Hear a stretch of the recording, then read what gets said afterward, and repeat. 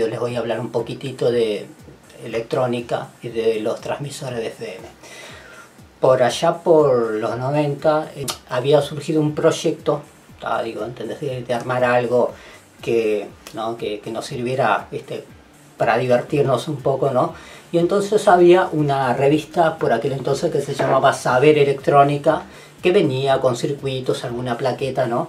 Y bueno, no es como ahora que vos de repente googleás un, circuito en internet y te aparece el tutorial, el circuito, cómo armarlo, varios tutoriales más, ¿no?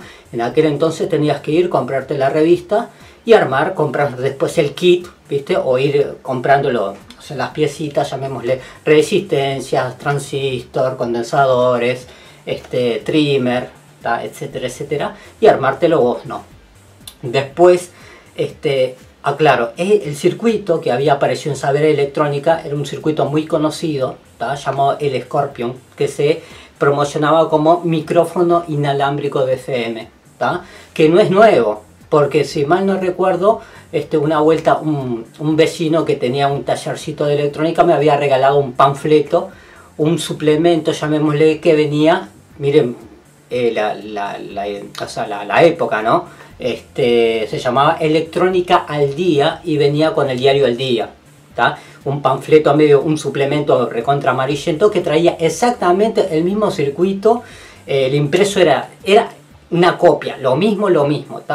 Y entonces, está entre varios compañeros a ver quién, o sea, quién se lo armaba más rápido. Entonces yo a ese circuito, le empecé a encontrar algunas fallas. Algunas de las fallas que tenía era, primero, que tenía un micrófono Electret, este, que fue lo primero que yo agarré ese circuito y lo empecé a modificar. ¿no?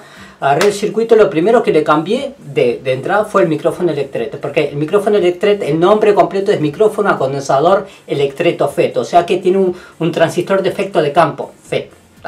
Y entonces eso eh, influía a veces en lo que era la transmisión. Lo segundo que no me gustaba para nada era la antena. O sea, vos sintonizabas el FM, hablabas por el micrófono, movías un poquito, se te cortaba la señal. Cambiar eso, ¿está? O sea, intentar hacer que no dependiera de una antena, ¿está? Lo cuarto que no me gustaba para nada era la bobina que tenía que estar en el impreso. La tenías que hacer muy prolija cuando se asocia eh, el impreso, que se hace con un Edin 2000 sobre el Pertinax, después se pone en percloruro de hierro y ahí te queda la plaquetita armada. Tenés que perforarla antes, si no levanta todas las pistas, ¿no? Ah, claro.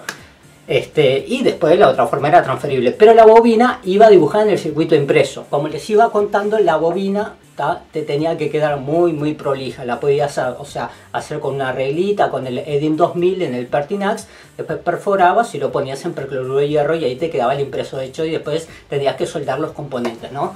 Pero eh, si no te quedaba muy prolija, no te quedaba muy bien, o sea, eh, no, no te funcionaba, se te cortaba mucho la señal, también otro de los defectos que vi. Y el cuarto defecto, Este, era el trimmer, o sea, el condensador variable que eh, ya un trimmer de 30 picofaradio y vos, o sea, para regularlo tenías que colocar un destornillador que no podía ser metálico porque se cortaba la señal o, o sea, o, te oscilaba la señal y después, o sea, cuando sacabas el destornillador volvía a la frecuencia original, entonces tenías que usar un, destornillador de madera o sin un pedacito de plástico para regularlo, tristísimo. Y eso iba en el impreso, iba soldado al impreso, entonces cada vez que tenías que cambiar frecuencia tenías que abrir el aparato. Y entonces, eh, lo que, ahora lo que vamos a ver en pantalla es el circuito del Scorpion, que hoy por hoy está en internet, o sea, este, y les voy contando nuevamente las modificaciones que le hice. Bueno, mientras estamos viendo el circuito del Scorpion, que aparecía como microtransmisor de FM en algunas revistas, y en otras revistas aparecía como micrófono inalámbrico de FM. Volvemos a las modificaciones. Lo primero que hice yo fue sacarle el micrófono de Electret y ponerle uno dinámico. Que se podía usar un auricular igual como transductor que funcionaba como micrófono. Después el tema de la bobina, chao, y hacer una bobina con un lápiz, ¿no? Y más o menos algunas vueltas de, alambre de cobre, más o menos 4 o 5 vueltas me andaba genial. Y la antena soldaba la segunda espira, ¿no? Después el trimmer, o sea, el condensador variable lo sustituía por un trimmer de los que sacás de, los diales de las radios, ¿no? Y después también la otra, como, como, habíamos dicho, el tema de la antena. No me, no me resultaba el tema de que tuviese una antena hecha de alambre. Entonces con una antenita de radio, que conseguías de cualquier radio usada, empezó a funcionar. Y entonces la primera idea dije, si en vez de colocar un micrófono directamente soldado al, al, impreso o a la plaqueta para que se entienda, ¿no? Colocase un jack, o sea, para conectar ahí un micrófono y hacerlo algo que te lo pudiese colocar en la cintura, ¿está? Y ahí fue cuando hice el, el, primer transmisor que anduvo más o menos como yo quería. O sea, vos tenías, o sea, funcionaba con dos pilas, conectabas, ¿está? Y entonces eh, conectabas el micrófono dinámico, que podía ser un auricular o cualquier micrófono barato, ¿está? Y vos tenías fuera, que salía desde, de, o sea, desde la caja, que era una caja de radio, tenías, o sea, eh, el trimmer, ¿está? Y con eso regulabas la frecuencia de FM y entonces el chiste estaba, digo que ponele, tenía un alcance aproximadamente de entre 50 y 100 metros de alcance, ¿está? Porque, o sea, en vez de usar un transistor BF494, yo había pensado en ponerle un condensador de acoplamiento y ponerle otra etapa de potencia con otro transistor más, ¿no? Y te duraba un mes o más, más o menos las dos pilas. Entonces, las dos anécdotas que tengo sobre este transmisor de FM, que en realidad era un micrófono inalámbrico, lo único que vos podías variar este, o sea, la, la, frecuencia y transmitía así por FM, ¿no? Fue, eh, yo me acuerdo de en el complejo Mesa 2 de Peñarol, yo era eh, amigo de Pablo Goberna, el hijo de Carlos, el de Borinquen, ¿no? Y te, él tenía varias amigas que escuchaban Galaxia, ¿no? La 105.9, ¿no? Y grababan cassettes, para que se acuerden, vean la, la, época que estoy hablando, ¿no? Grababan cassettes de la radio, grababan a Rolando Páscar y con K, Borinquen. Y entonces, o sea, nos juntábamos con, con Pablo, ponele, eh, pone a, a, la vueltita de ahí donde vivía la, la gurilla, no sé qué, y grababan la radio. Y entonces Pablo me decía, viste, este, sabía que, creo que se llamaba Andrea, la chiquilina, que, mira, Andrea está grabando no sé qué, y viste, y ella cuando estaba grabando aparte cantaba arriba de la red, me dice, cortarle la señal. Yo prendía, o sea, el transmisor y se cortaba la señal. Y después el otro chiste que, que, hacía también, viste, era conectar el micrófono y estaba, qué yo, pasando Rolando Paz y era prender el, el transmisor así, esto es Galaxia FM 105.9, ¿está? Y enseguida se da cuenta que éramos nosotros y está.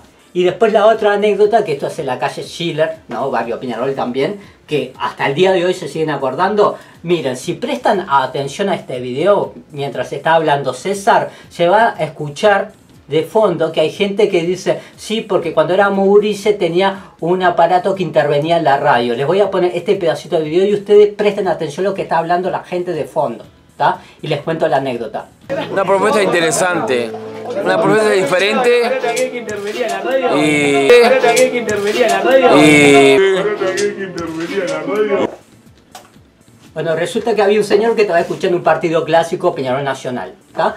Y entonces, o sea, le estaba escuchando por FM, con los relatos, creo, yo no sé de fútbol, pero creo que era eh, Kessman que estaba relatando el partido. Entonces, eh, eh, estábamos afuera de la casa, no sé qué, y, entonces, eh, en la jugada que venía, y se la lleva por el costado, parece que va a tirar, va a tirar, va a tirar, ¿no? Me decían, cortarle la señal. Yo prendí el transmisor, ¿entendés? Y ahí se cortaba la señal, ¿no? Y bueno, y esa eh, la anécdota que el señor a cada rato se paraba y le pegaba la radio, o sea, este, esa era la anécdota, cosa de gurice, ¿no? Y después con el tiempo ya me di cuenta de ver una forma de viable, ¿no? Eh, para, para este aparatito, entonces empecé a fabricarlo en serie, o sea, compraba el, per, eh, el trozo de, de, de, Pertinax y hacía varias pla plaquetitas, perforaba todo, eh, y después, o sea, hacía o sea, varios impresos, circuitos impresos, y compraba varios paquetitos de resistencia y iba armando. Y entonces yo iba a, la feria de Peñarol y todo lo que eran radios viejas, de esas portátiles que llevaba dos pilas, porque lo que me servía era el trimmer, ¿no? Y me servía después la antena que ya venía incluida y el receptáculo para poner las pilas. Entonces yo lo que hacía, le sacaba la plaqueta de radio y le ponía la plaqueta con un jack o si no, en algunos defectos también llegué a colocarle un cable con un plug porque la idea mía era que también, o sea, este, no solamente usarlo como, como micrófono, se, se, me pasó por la cabeza, en vez de conectar un micrófono, se podrá conectar una guitarra, porque básicamente lo que lleva la guitarra es un transductor. Y empecé a llevarle ese producto, hablo comillas, producto, a varios músicos que tenían guitarra, ¿no? Eh, eh, che, probate esto, y esto por donde sale, prendía la radio, le buscaba la frecuencia y dice, ¡ah, mira qué bien que se escucha! Yo me acuerdo de Walter Guerrero, que ahora vive en Argentina, les voy a, poner un pedacito de video de cuando yo estuve en Argentina, creo que fue el año 2012, que él se acuerda de que yo fabricaba amplificadores, ¿no? Caseros, que era, este, bueno, después les cuento.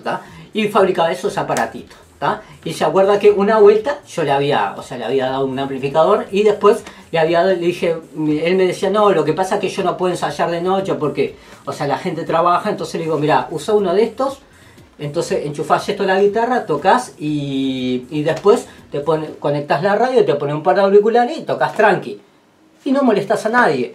Y, tal, me acuerdo que él después se fue para Argentina y durante siete años no, lo había visto y él se acuerda que yo le, había vendido un, un, transmisor de FM para conectarlo a la guitarra y nunca me lo había pagado, pero está todo bien, es la anécdota graciosa.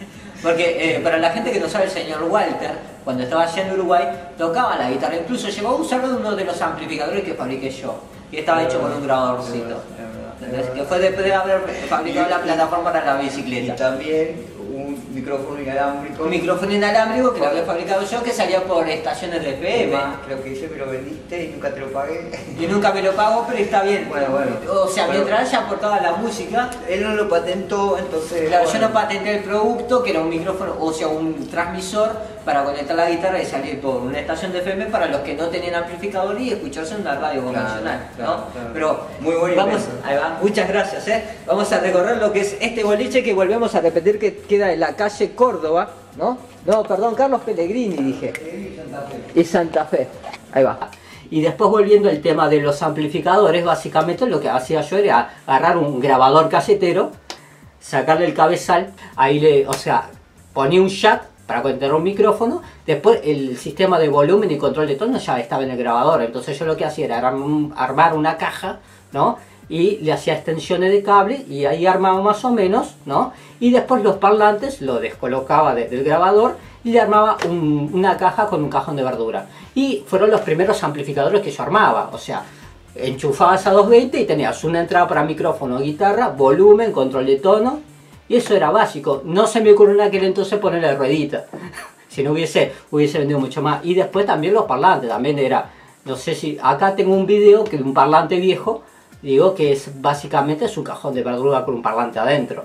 Pero funcionaba muy bien, o sea, date cuenta que en aquella época, si vos tenías guitarra y no te podías comprar un amplificador, o sea, era la solución que yo había encontrado, era, o, o te armabas un amplificador hecho con un grabador viejo, ¿está? Que por lo menos para ensayar en tu casa o en un galponcito te daba y te sobraba, y si no tenía la otra alternativa que era el transmisor de FM, que enchufabas y salías por la radio FM en la frecuencia que querías y podías molestar a los vecinos también, y era eso. Y después, con el tiempo, hice uno que era más prolijo, que ya era una cajita que tenía el plug incluido y una antena, pues lo colocabas, lo prendías, pero ese tenía una frecuencia fija, ¿no? No podías variarlo, o sea, vos prendías y después buscaba la frecuencia en la radio hasta que te escuchaba que estaba saliendo y tal, digo, porque si no ya era mucho, ya había mucha gente que estaba molestando a los vecinos y no les dejaba escuchar la radio, se ponían a tocar y le o sea, entonces dije, vamos a parar un poco, inclusive muchos vecinos este, que ya sabían que existía este aparato y que era yo el que